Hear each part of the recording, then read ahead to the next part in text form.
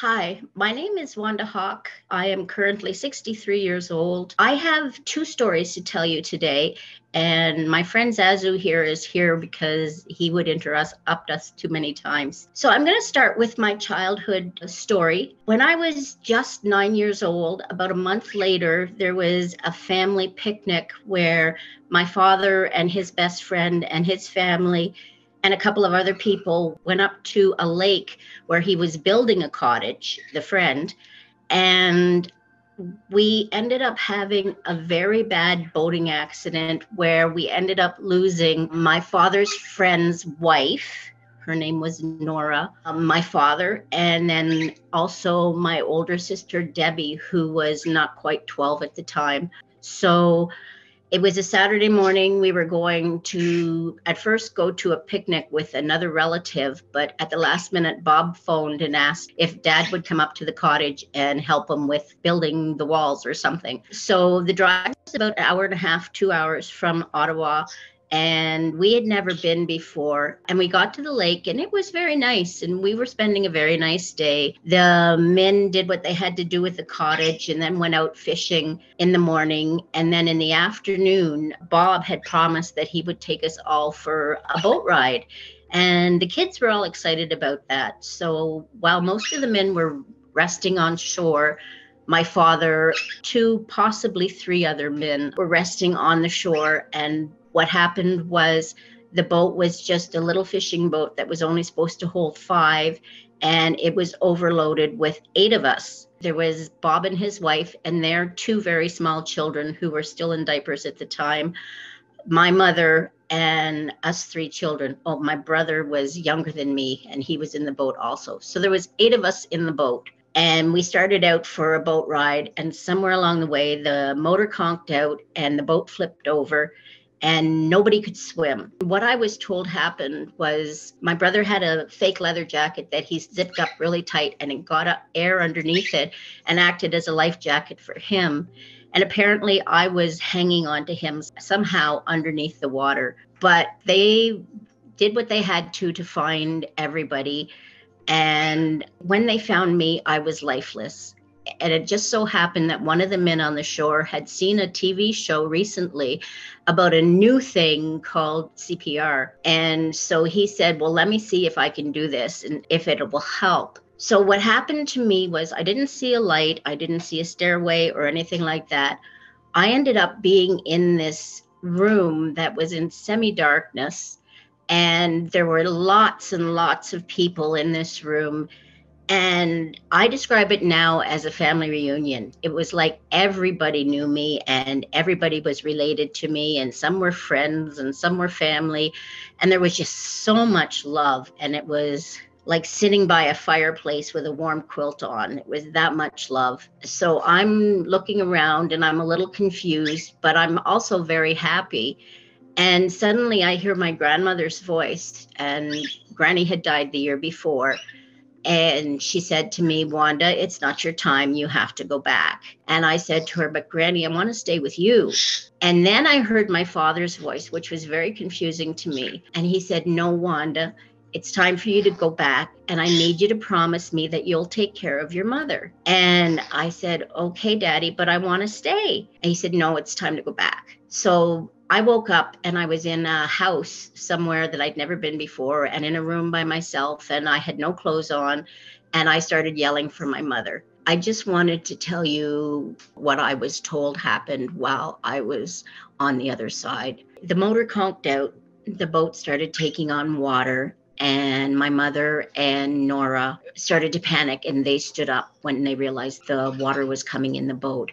And it was their standing up that flipped the boat and it was, as you know, capsized and the bottom was on the top. And nobody could swim. Not Bob, not my mother, not Nora. None of us children had ever had swimming lessons at the time. So, what I was told was Nora was on one side of the boat and my mother on the other. And between the two of them, they were able to grab the two babies and put them on top of the boat. And they were light enough that it didn't sink the boat. And then Debbie ended up on Nora's side of the boat and they were hanging on by their fingers. And mother was on the other side hanging on by the fingers. And my brother and I were somewhere too far for anybody to reach from the flipped over boat. What I was told was my sister Debbie started to panic. And as they say, you're 10 times stronger when you panic and that type of thing. So, in her panicking, she grabbed onto Nora, and we were told that that's how Nora drowned was Debbie pulled her under. On the other side, while things were happening and the people realized that there was had been an accident, my father ran around and the two men also ran around to try to get closer to the area they were able to find another boat eventually and get everybody as they could. But they didn't put mother back into the boat because they were afraid that that boat was also going to capsize. They were able to find Nora right away when the alarm was sounded, but it took over two days for them to find my father and my sister. And I just think it just shows the love that my father like sacrificed to be able to get to my sister because when they did find him, he was floating, obviously, by this point.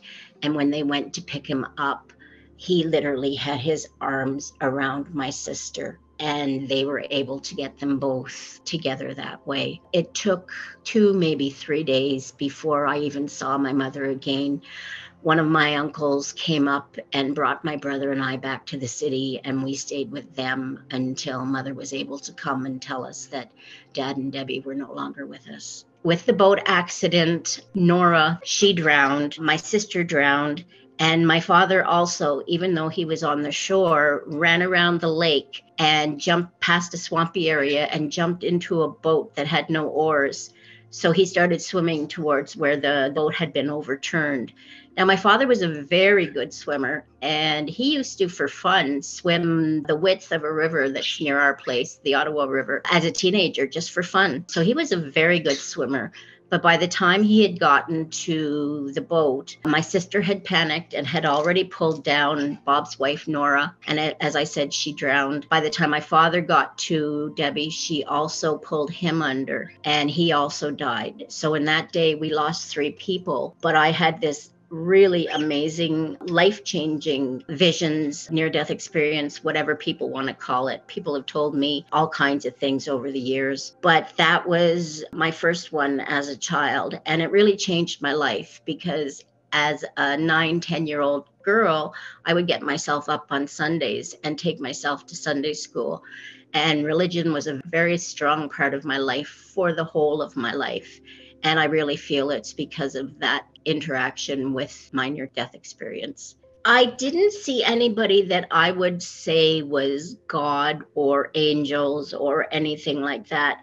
I think what I mostly felt was the overwhelming love, uh, whether it come from my reunion family or from a higher source. Because I was so young, I, I really couldn't tell you that. But as I said, because of that experience, it really did change my life, believing in God and, you know, doing good things for people throughout my life. So, this is my second near death. So, I was very young. I was 20, 22 maybe, working as a nurse full time and I needed to have my wisdom teeth out.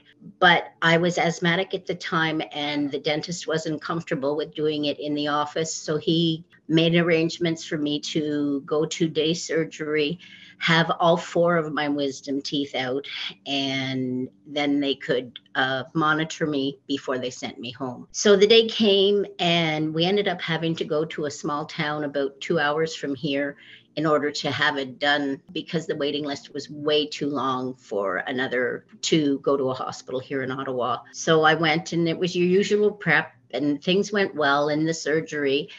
And I guess what happened was because of the anesthesia, I had stopped breathing and my heart had stopped. In the recovery room. And I just remember all the bells and whistles going off. And remember, I was a nurse at the time. All the bells and whistles going off, and somebody bringing the crash cart over to the patient in the bed. And I was standing in the corner and I was watching this, and I'm thinking, oh, I better get over there and do my job. So I went over to the bed and I was getting very angry because I couldn't get in near close to the bed to the patient. The people were all doing their things around me and, you know, get me this and get me that and keep doing this and okay, take over CPR, you know, the whole thing. But they wouldn't let me do my job. And it was really starting to piss me off. But the next thing you know, I'm up on the ceiling or from a higher plane and I'm looking down and it was like, oh, that's me. So I'm watching them working on me and I'm listening to what they're saying and I'm thinking, wow. And I just watched from there. And so next thing you know, whomp, I'm back in my, my body and I wake up and they say, you know, take it easy. You know, you had a little complication after, but you're fine now. We're going to keep you under observation for a little while and then we're going to send you home. And I said, Did my heart stop? I said, I died. And the doctor looked at me and said, What are you talking about? And I said, My heart stopped. I said, I saw you do the CPR. And he said, What do you mean? I said, I saw the crash cart. I saw you guys working on me. He said, No, no, no, no. He said, You didn't see any of that. He said, Wanda, you're a nurse. You know how it goes, you know, the steps to get somebody going. And he said, you weren't gone for that long, but we got you going again and you're fine. And then I looked at him straight in the eye and I said, Now, I don't remember what I told him, but I told him something that he'd said to a nurse in the room while this was all going. And it was something that wasn't normal, not something that you would normally say in a code. And he looked at me and his face just went white. And he said, Oh, and he couldn't get out of there fast enough. So I thought that was very interesting. And I told my mother on the way home, and she had the same reaction as the doctor. And so I really didn't think much of it. But that really changed my life also, because as I said, I was nursing at the time. And whenever I got the chance, and there was a patient that I knew was near dying, you know, a few days away, or, you know, they didn't have a lot of family or that type of thing, the staff knew where to find me all the time. I would always be in that room, and I always found they were more peaceful, and so was I when I was in the room with them. And I'm not saying it's because it was me that was in the room, but it was because there was somebody there that cared.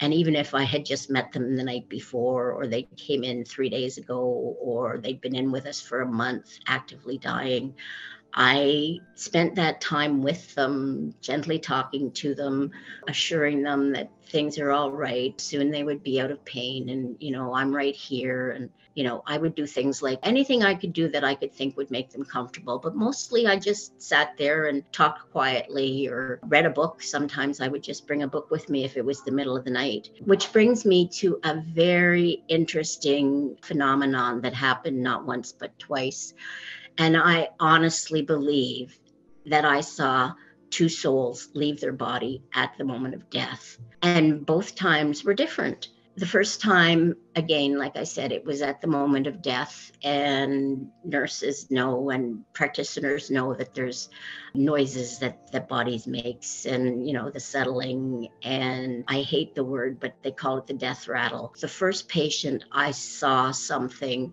it was just very much like think of uh, somebody who's vaping, who's just taken a big puff of their e cigarette and they're letting it go. And that's what I saw was this mist rose from the body near the heart and it just sort of floated and then dissipated in the air. And I thought, wow. And I took my stethoscope and put it on their heart and, you know, check the time of death, the usual nursing things. The second time I was again with a with a patient and this time it was a woman. She was very chatty and very friendly when she was with us uh, before and that type of thing. And you get to know their families. And the family had decided that they were going to go and have a meal or go and get some rest or whatever. And i said don't worry i'm here. I'll watch over her and so i did have a few minutes and i snuck into her room and i was sitting beside her and i said Hey, Mrs., I'm here. You know, the family's just gone out, but I'll be with you while you're here. And as I was sitting there, out of the corner of my eye, I literally see her